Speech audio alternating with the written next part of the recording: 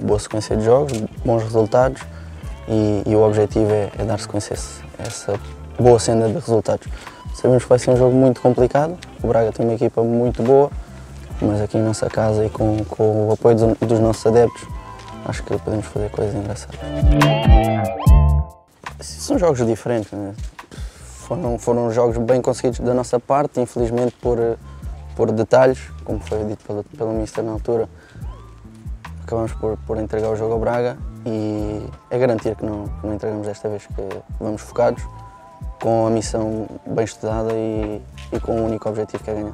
Com o apoio dos nossos adeptos, vamos ter casa cheia seguramente, acho que vai ser importante para nós não ser o 12 jogador.